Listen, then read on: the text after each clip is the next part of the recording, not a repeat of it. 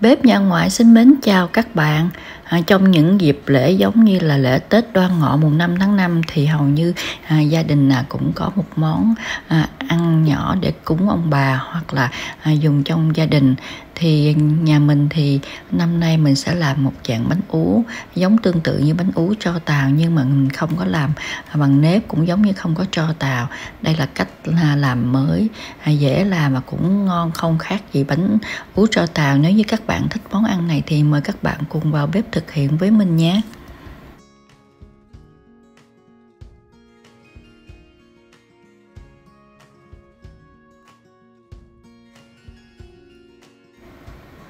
À, để thực hiện món ăn này trước hết là mình chuẩn bị phần lá chuối.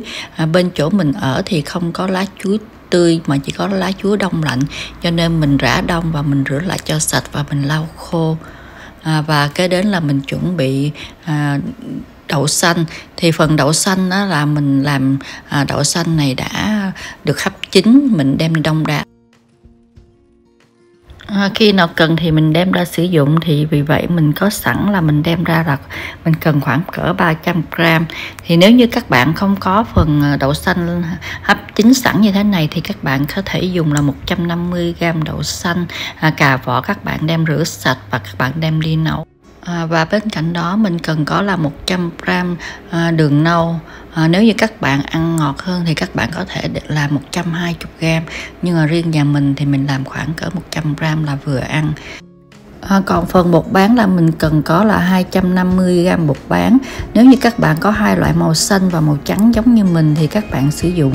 Còn nếu như không thì các bạn làm màu trắng không cũng được à, về phần đường thì các bạn à, có đường thốt nốt thì các bạn làm đường thốt nốt sẽ ngon hơn. Còn như mình không có thì mình dùng à, đường nâu cũng được hoặc là đường vàng. À, và mình cần có thêm là 50g bột năng thì phần bột năng các bạn làm hiệu nào cũng được. Thì tất cả các thành phần gồm có là 50g bột năng 100g đường 250g bột bán và 300g đậu xanh đã hấp chín. Và mình bây giờ bắt đầu mình à, thực hiện cái phần à, vỏ bánh trước. Mình cần có là 500 đến 600 gram hoặc là ml nước. Thì trước hết mình cho vô là 500 ml nước trước và mình đun sôi. À, mình cho đâm tim thôi chứ đừng sôi hoàn toàn. Sau khi mình cho bột bán vào rồi là mình tắt lửa liền và mình trộn đều lên. Thì phần này nếu lúc mình trộn lên nếu mình thấy bột mà hơi bị khô thì mình cho thêm 100ml còn nếu như các bạn thấy bột vừa rồi thì mình cho 500ml là đủ không cần cho thêm 100ml nữa. Nhưng mà theo mình thì mình thấy là 600ml nước là à, vừa nhất. À, sau khi mà bột đã nửa chín nửa sống rồi thì bây giờ mình cho cái phần đường vào và mình trộn đều lên cho đường thấm đều trong à, bột bán. Thì khi mình cho đường vào mình cho hết một lần và mình trộn à, mình đánh làm sao cho bột và đường nó hòa quyện lẫn nhau.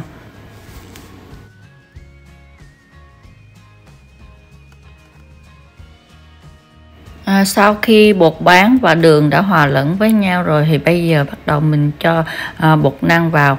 Thì mình cho bột năng vào từ từ à, và mình trộn đều lên. À, bởi vì mình đừng cho bột năng vào cùng một lúc hết thì làm như vậy thì bột năng sẽ bị ấp trâu. Cho nên mình cứ cho từ từ rồi mình trộn đều lên. Khi mà bột năng á, nó đã hòa lẫn vào trong với bột thì mình cho phần kế tiếp.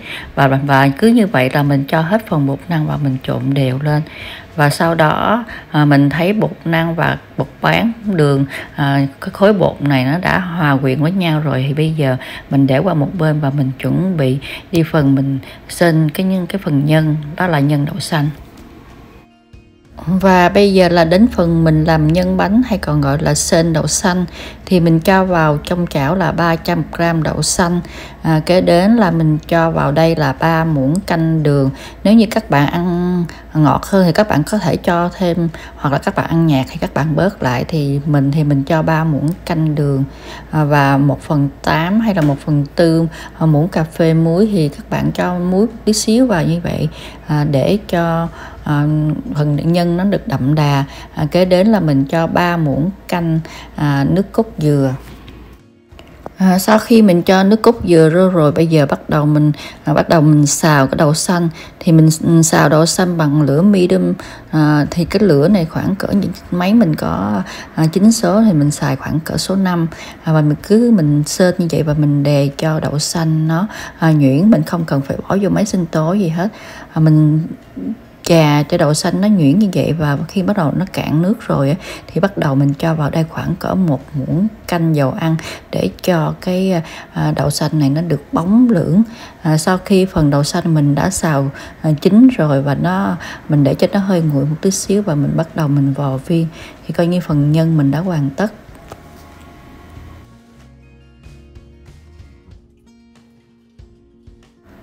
À, mỗi cái viên nhân thì mình làm khoảng cỡ à, hai muỗng cà phê. Thì à, mình làm khoảng có được 30 viên thì sau khi mình vò viên xong rồi thì kế đến cái phần vỏ bánh mình cũng chia cái vỏ bánh nó làm 30 phần bằng nhau. Và bây giờ bắt đầu mình à, cán cái miếng bột cho nó nó nó nó dẹp ra. Và sau đó mình cho cái phần nhân lại và mình à, cuốn nó lại và mình vò thành những cái viên như thế này. À, và còn phần lá thì bắt đầu mình chuẩn bị bằng cách là mình cho à, lá lên một ít à, dầu ăn để cho nó không có chín vào bột khi mà mình à, gói. Thì mình gói cái bún bánh này y chang mình gói cái bánh ít gì đó thì mình cuộn tròn giống như cái phễu như thế này và mình cho cái phần à, viên bột vào trong và mình gói ghép mép lại thành ba. Thì mình thật sự mà nói mình gói cũng không có đẹp. Cho nên thành thử ra mình chỉ à, gói tạm cho các bạn thấy còn các bạn nào à, có thể gói được đẹp hơn mình thì các bạn à, giúp mình à, để làm cái bánh đẹp hơn nha. À, và như vậy mình lần lượt mình gói cho hết cái phần bánh và mình đem đi cột dây. Còn nếu như các bạn không có dây thì các bạn cứ gói như vậy sao mình để trong cái à, xưởng mình hấp cũng được. Và như vậy là phần bánh mình đã gói xong và mình cột lại thành những à, chùm bánh như thế này. À, mình à, bắt đầu mình chuẩn bị mình đem đi hấp.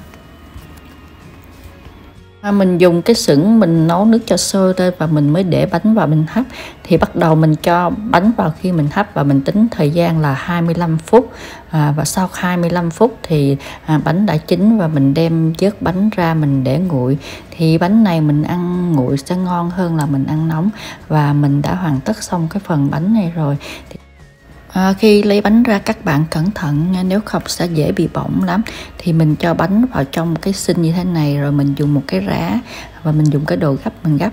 Thì à, có những cái sợi dây á, thì mình gấp mình gấp bạn sợi dây ra. Còn nếu như các bạn không có sợi dây thì các bạn dùng những cái à, đồ gấp bánh các bạn gấp ra để khỏi bỏng tay ha các bạn. Và như vậy là những chiếc bánh đã hoàn tất và à, vì những chiếc bánh cuốn này khá nhỏ nên mình chỉ hấp trong vòng 25 phút là bánh đã chín. À, khi bánh chín thì mình để bánh nguội và bánh này được dùng à, nguội ngon hơn là mình dùng nóng. À, và mình à, mở bánh ra thì những chiếc bánh này à, trông cũng giống như là những chiếc bánh ú cho à, vào những dịp à, Tết Quan Ngọ mà à, ở Việt Nam hay dùng lắm phải không các bạn? À, nhìn những chiếc bánh thế này thì mình rất là nhớ Việt Nam và mình mở thử cho các bạn xem ha.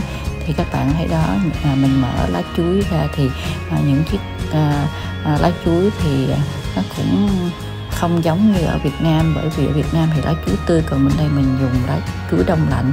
Màu bánh á, thì à, vàng ươm à, nhân bánh đậu xanh thì cũng có thể được nhìn xuyên suốt qua à, cái à, vỏ bánh phải không các bạn? Và như vậy là món ăn đã hoàn tất. Mình hy vọng rằng các bạn sẽ thích món ăn này và thực hiện cho gia đình mình cùng thưởng thức.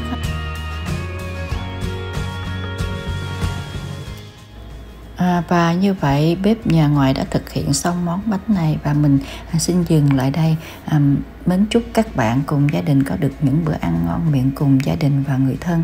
Xin chào và hẹn lại các bạn trong chương trình kỳ sau. Bye bye.